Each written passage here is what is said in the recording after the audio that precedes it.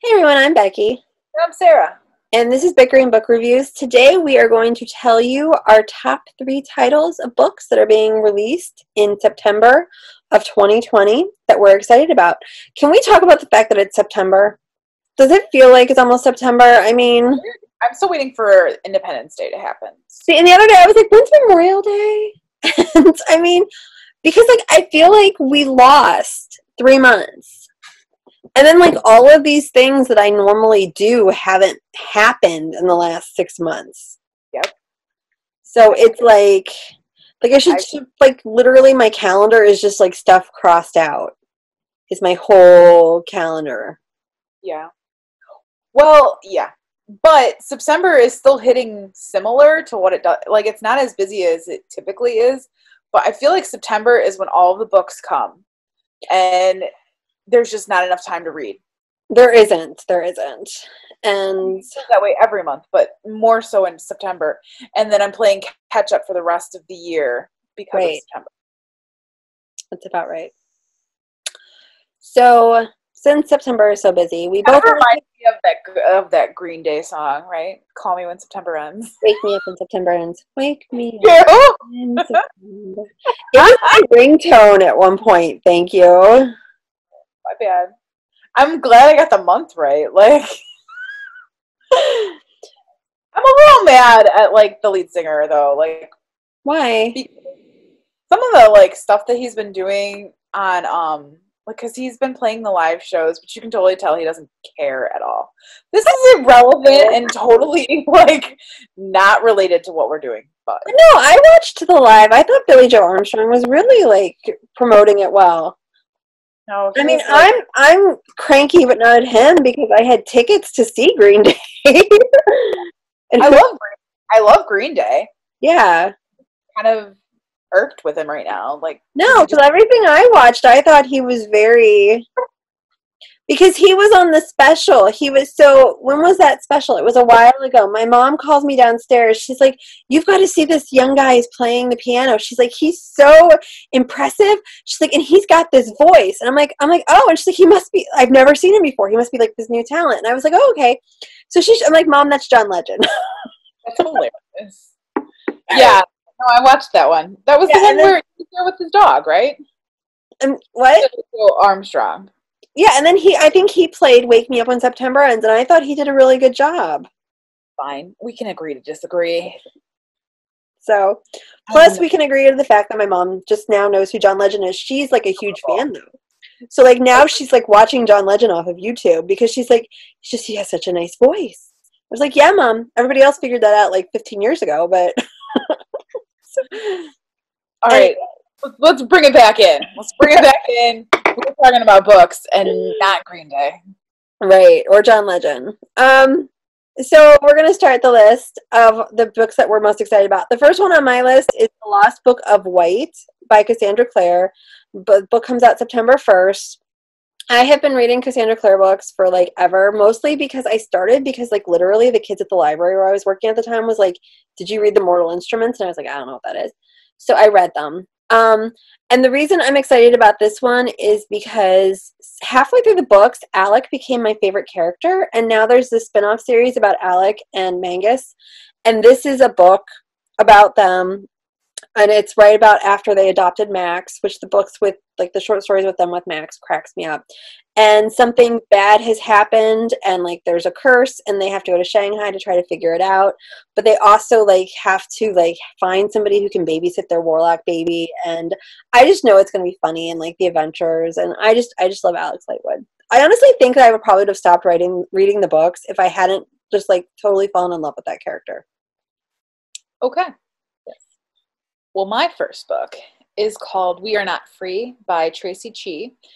Um, and it's coming out on September 1st. And so this one, she wrote the Reader series, which I know got a lot of like great buzz when it was originally came out. Um, I just never read it. Um, but I'm excited for this one because it's a historical fiction novel about set in the wake of World War II um, about several Japanese characters who are faced confronted with um, being sent to the Japanese internment camps. Um, it's getting some Printz buzz.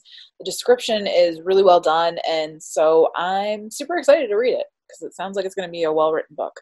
There have been some really good books lately about the Japanese internment camps and that experience. Yeah, I just read an adult one, an adult book that um, talks about that, and the YA world has much better offerings. Really, the George Takei book was yeah. incredible. Right.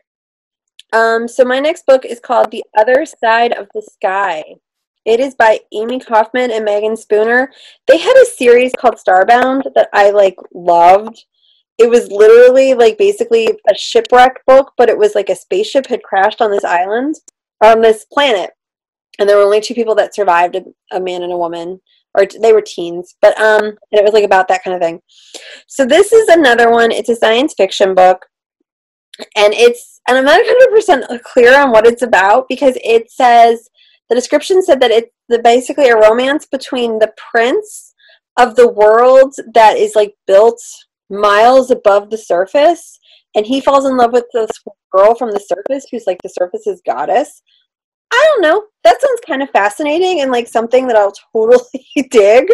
And so I'm excited. Plus, the cover is gorgeous. Well, there you go. That's how they get you. It is how they always get me. How they get I judge a book by its cover every time. Yeah. Well, sometimes I judge a book by the title, and that's what I did with this one. So, my next book that I'm interested in is The Roommate by Rosie Dan- Danan. Um, release it's going to come out on September 15th. And so basically, I, with the great pause and the publishing industry kind of turning to what it is, um, I've started reading more adult romance books. And so I'm like, yes, I'm ready for the next boyfriend material, the next red, white, and royal blue. I don't necessarily know if this is not this this is not giving off the same vibe, but it is an adult romance novel and it's obviously about two unlikely um a unlikely guy and girl who end up being roommates and, you know, complete opposites, but I'm assuming that there will be steamy times ahead. So steamy times ahead. Toot toot. I don't I don't know. That's like I was gonna say that's a lot of books about the the steamy roommates. Um, so the last book I'm going to talk about today is called The Inheritance By Jennifer Lynn Barnes. Another one, cover gorgeous, comes out September 29th. Um, and Jennifer Lynn Barnes has kind of gotten on that list. Like I will admit that she had a couple books I didn't love, but like in the last like five or six books I've read by her have been like my favorites of the year. So I'm super excited about this one. It is about Avery, who basically is just trying to figure out a way to get through high school and hey, maybe figure out how to get into college. And she gets told all of a sudden, guess what? This billionaire you've never met just left you his entire fortune. But the only way you can get the, infor- the entire fortune is if you live in his house, his huge estate, with all the heirs that he just, you know, stiffed. Hopefully you'll survive and get the money. And there's a mystery to figure out, like, who is he? Why did she care about her? What's going on? Why were the heirs cut out? And I just think it's going to be like it's like it's like an older version of Westing Games, and I'm super excited. We shall now call her JLB, and she is the best. I love JLB. She's the bomb, and she is one of those authors that's on my list that I want to go to a meet and greet. I want to hear her speak, and I want to get all of her books signed because I love everything that she comes out with. Well, so I would I, love to hear her speak because she's a professor. So can you even imagine, like, with her storytelling like, and actually being trained to like? she's a psych professor, right? Right. She's a psych professor. So you've got yeah. her books so awesome. Is it's got that psych sway. Right, because I loved the one she did. What was it? The, the Lovely and the Dead. Was that what it was called? About the? No, it wasn't. The one about the um, search dogs. The Lonely and the Lost. The Lonely and the Lost. Yeah. Yeah, I that love was, everything there. And like, and her books are always like so very they, and they're also like different. Like they they're unique enough that they stand on their own. Like well, she does what um is very different from the Lonely and the Lost. But she's also she does the same thing that Jenn Bennett does, where you've got the really strong characters, but the setting plays so into it. And I love that. I never thought like I would read like we did this training about readers advisory and like you had to list what you like really care about when you read a book and I never thought setting would matter, but it it does. But that's besides the point. You should finish. okay. But I'm going to finish with uh, Punching the Air by Ibi Zoboi and Yusef Salaam. Um, it's coming out September 1st, and I am so excited for this book. Um, so it's actually based on a true story, and it is a novel in verse that continues the conversation on prison reform and injustice. Um, so basically, it is about Yusef, who uh, was wrongfully convicted of a crime he didn't commit, and you know about that experience. And so I guess there was a movie, like a TV series created about this event in time and the person who's reading this is the same person who played Yusef in the move in the TV series. Hmm. So I'm super interested to see like what this is about. I also really like to read books about prison reform because I am very passionate about that.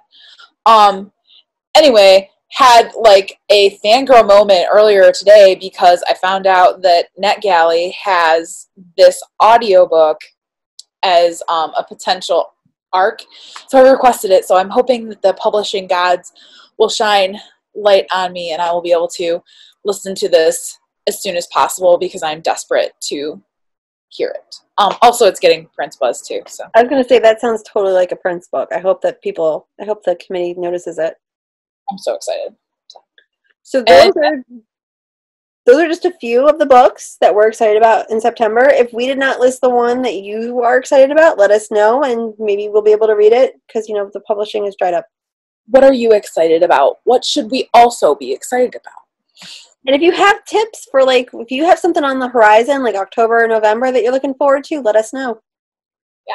And All we'll right. see you around. Bye. Bye.